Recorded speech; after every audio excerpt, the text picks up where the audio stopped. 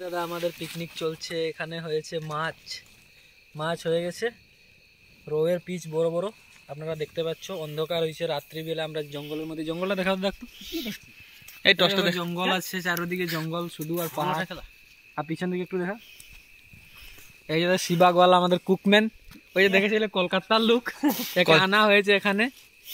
এখানে তো হচ্ছে মিট মাংস। আর এই যে এটা আছে ভটকা। নতুন ধরনের মাল বানানি হয়েছে। না এটা একটা পেস্ট মশলা এটা খারাপ ওয়ার্ড ইউজ করা হয়েছে কিন্তু এটা আপনারা ধরবে না। এখানে কিছু খারাপ জিনিস নেই। আর তারপরে জঙ্গলের ব্যাপারে কিছু দাদা? জঙ্গলটা দেখেন দাদা খুব অন্ধকার।